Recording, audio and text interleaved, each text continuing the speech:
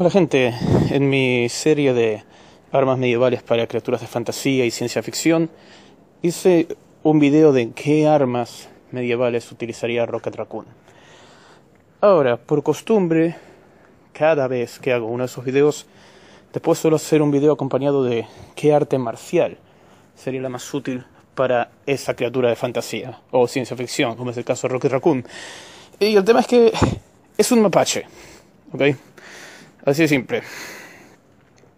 Muchos de ustedes deben estar diciendo que no tiene sentido hacer un video sobre el mejor arte marcial para un mapache, ya que naturalmente el mejor arte marcial para un mapache va a ser mapache jutsu o su equivalente occidental más moderno, mapache jutsu brasileño.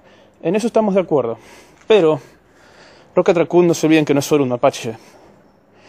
Es un mapache con poderes, es un super mapache o sobre mapache, como le quieran decir. Él es mucho más fuerte que un mapache normal. No llega a fuerza humana, pero es más fuerte que un mapache normal. Y es muy inteligente. Su inteligencia está a rango humano como mínimo.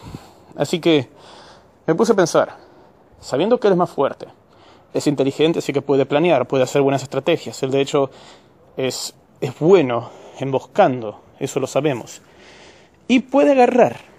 Tiene una versatilidad que los mapaches no tienen. Él puede caminar cómodamente en dos patas en lugar de cuatro y puede agarrar muy bien con sus manos, igual de bien que lo haría un ser humano. Así que luego de mucho pensarlo en cuál es el mejor estilo de pelea para un mapache antropomórfico, decidí que lo mejor que Rocket Raccoon puede aprender para luchar, su mejor estilo de combate tiene que estar basado fuertemente influido en el parkour.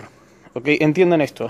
Rocket Raccoon necesita un estilo de parkour adaptado a su fisionomía única, que es una especie de híbrido entre humano y mapache, para hacer máxima utilidad de su gran agilidad y velocidad. Eso es la forma en que él tiene que luchar. Porque si va de frente a frente con un humano, un ser humano simplemente lo va a patear y va a seguir volando.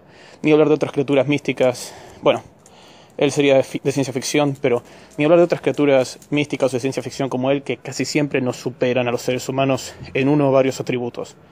Lo que él tiene que hacer es, si tiene un humano queriendo luchar contra él y él solo tiene sus manos, él tiene que aprender a moverse muy rápido. Tiene que alejarse de ese humano y emboscarlo, o tal vez, si está muy confiado en que es mucho más rápido que su humano, directamente saltarle encima y morderlo atacarlo con sus colmillos y su fuerza, que está por arriba de un mapache normal, y usar sus garras. Básicamente Raccoon lo que tiene que hacer es, él tiene que moverse rápido, tiene que ser ágil, tiene que controlar la distancia, para que un humano no lo pueda agarrar ni golpearlo, y entonces llegar a la altura del cuello para morderlo, o usar sus garras para cegarlo.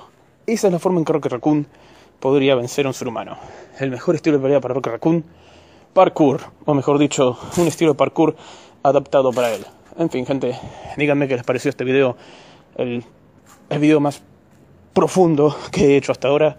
Díganme qué piensan, ¿están de acuerdo conmigo? ¿Tienen otro estilo para Rocket Raccoon? Quiero saberlo en los comentarios, chao.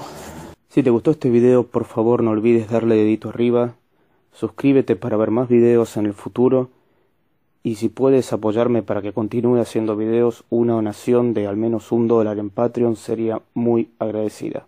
Saludos.